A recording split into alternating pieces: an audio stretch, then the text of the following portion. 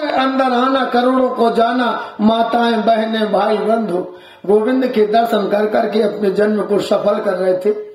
उसी भीड़ में जब पूतना दिखाने आते तो गोपियों ने पूछा, एक दूसरे में चर्चा की कि, बहन, ये कौन आ रहे कोई बोली, ये तो किसी राजा की रानी है।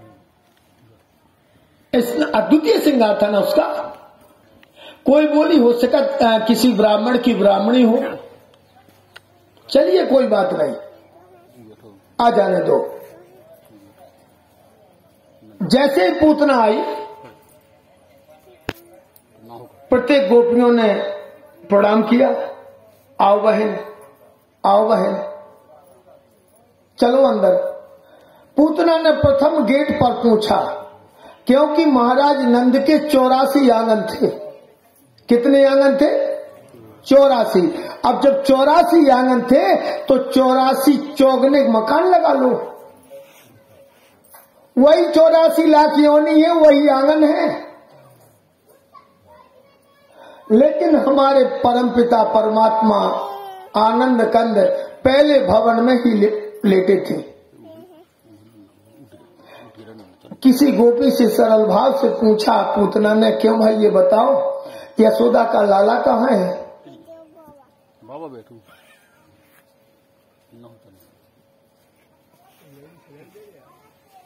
तो लाल में बाबा बैठी है। एक किसी गोपी ने उत्तर दिया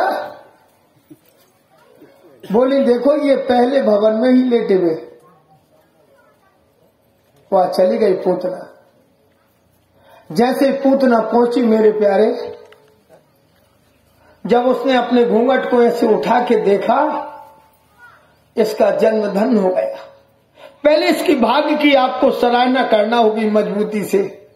बाहरी पूतना ते कितनी बड़ी भागवती है कि जाकर के तेने परमात्मा के दर्शन किए, फ़ोटो के दर्शन नहीं, साक्षात दर्शन किए उस गोविंद के। जब तक अंतरात्मा में प्रेम रहेगा तो तुम्हारे पास से तुम्हारी नज़रों के सामने है। और इसके बाद उसे आया द्वेष। प्रेम के बाद क्या आया? द्वेष। कौन सा द्वेष उसे उत्पन्न हुआ कि इसी ने मेरे बाप की जायदाद छुड़ाई थी, नापी थी? याद आ गई उसे। क्या आ गई कि इसी ने मेरे बाप की जायदाद छुड़ाई, नापी और संकल्प पूरा किया, यही लेटो जो मौका मिल गया अभी से मार दो आज।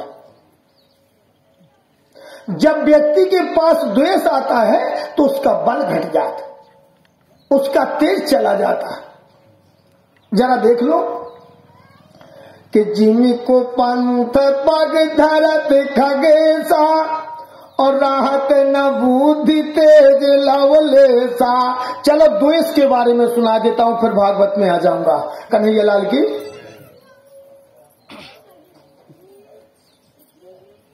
जब तक हित होगा, तब तक बल होगा। और जब अहित होगा तो निर्बल हो जाएगा, वही आत्मा। जिस जिस समय दस्तुग्रीव रावण सीता को लिए जा रहा, मैंने शायद बोली थी क्या परसों बात? क्या उस समय दशरथ ने नहीं सुनी? क्या उस समय जनक ने नहीं सुनी? अयोध्या वासियों ने नहीं सुनी? जनकपुर वासियों ने नहीं सुनी? आकाश मार्ग से सबने सुनी, लेकिन रावण के भाई के कारण कोई आगे नहीं आया। रुक जाना जरा। किसी ने नहीं सुनी? तो एक बुढ़ा लेटा था। गीधराज मैं द्वेष के और सद्भाव के ऊपर बोलने जा रहा जब गीध ने सुनी,